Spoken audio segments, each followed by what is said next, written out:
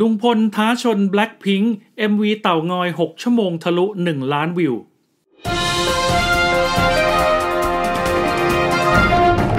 สนับสนุนโดย ซิงเกิลใหม่จากวงเคนายโลกคู่ขนาน หมูยอเกรด A จากแซบซาร่า Happy Healthy ไส้แน่นทุกชิ้น ฟินทุกคำ ปังสุดอะไรสุดนะครับ MV เต่างอยเวอร์ชันลุงพลปะทะจินตรานะครับฮอตแรงเกินต้าน หลังปล่อยออกมาชนกับศิลปินระดับโลกนะครับอย่าง Blackpink ในวันเดียวกันอย่างไม่กลัวศักดิ์ศรีนะครับแค่ไม่กี่ชั่วโมง ยอดวิวทะลุ 1 ล้านวิวไปแล้ว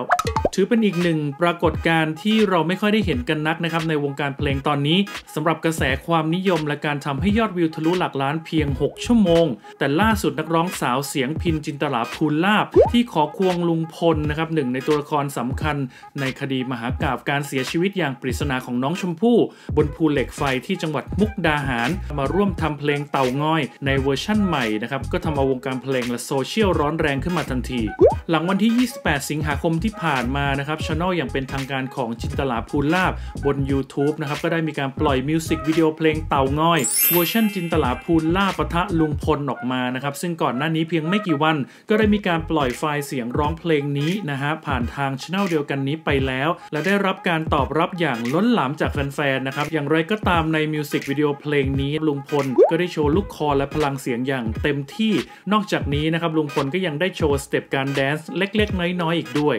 ในส่วนของสาวจินตรานั้นนะครับก็ได้ขนแดนเซอร์มาทั้งร้องทั้งเต้นชนิดจัดเต็มแบบสุดเหวี่ยงขณะที่ลุงพล คนที่มาเป็นแดนเซอร์ให้นะครับก็ไม่ใช่ใครที่ไหน เป็นนักข่าวจากช่องทีวีดังนะครับที่คอยติดตามรายงานข่าวคดีของน้องชมพู่ ได้มาร่วมออก step สร้างสีสันนะครับซึ่งล่าสุด เพลงเต่างอยเวอร์ชั่นจินตราปะทะลุงพล ได้ทะลุ1ล้าน2แสนวิวไปเป็นที่เรียบร้อยนะครับและคาดว่ายอดวิวคงจะพุ่งสูงขึ้นอีกเรื่อยๆ ทั้งนี้สิ่งที่น่าสนใจอีกอย่างหนึ่งนะครับ คือ MV เพลงเต่างอยของสาวจินตราและลุงพลนั้น ยังปล่อยออกมาในวันเดียวกันกับมิวสิกวิดีโอของ girl group ระดับโลกนะครับ อย่างวง Blackpink อีกด้วย โดย Blackpink นะครับได้ปล่อยเพลง Ice Cream ที่มีความพิเศษสุดๆ โดยสี่สาวได้ร่วมงานกับนักร้องชื่อดังระดับโลกนะครับอย่างเซเลนาโกเมซโดยล่าสุดยอดวิวก็พุ่งสูงขึ้นเรื่อยๆนะครับและคาดว่าจะทะลุ 100 ล้านวิวอีกไม่นานแน่นอน ขอขอบคุณข้อมูลดีๆจาก Daily News และขอขอบคุณทุกท่านที่ติดตามและเจอกันใหม่ในคลิปหน้า สวัสดีครับ